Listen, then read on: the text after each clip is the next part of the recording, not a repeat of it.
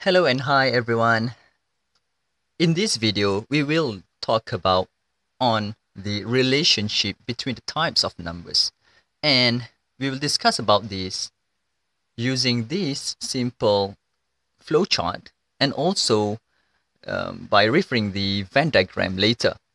So uh, let's get started. So our topic here is about real numbers. So real numbers can be either rational or irrational. And you cannot be rational and irrational at the same time. So it's either rational or irrational. And for some rational numbers can be classified as integers. So for some rational numbers, it's what we call as integers. And for some integers can be classified as the whole numbers. And for some whole numbers can be classified as natural numbers. And I hope you can still recall the definition of the types of numbers here. And in other words, we can also say that all natural numbers, all natural numbers are the element of whole numbers. And all whole numbers are the elements of integers. But um, not all integers are whole numbers.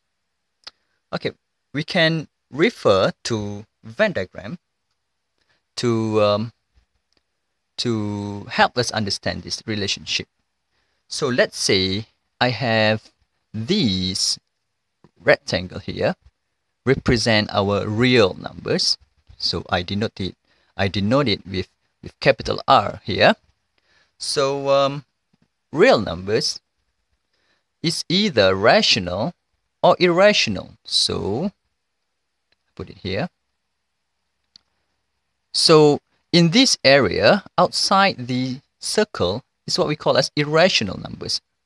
And inside, on the inside of the circle, is what we call as rational numbers. And I denote it with capital Q over here. And for some rational numbers, can be classified as integers. Integers. And for some integers, we can classify them as the whole numbers. Whole numbers. And furthermore, for some whole numbers, we can classify them as natural numbers, denoted with capital N here.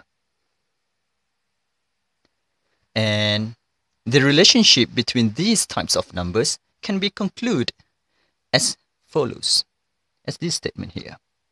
So um, how can we read this statement? So we start with natural numbers. So natural numbers here is the subset of the whole numbers.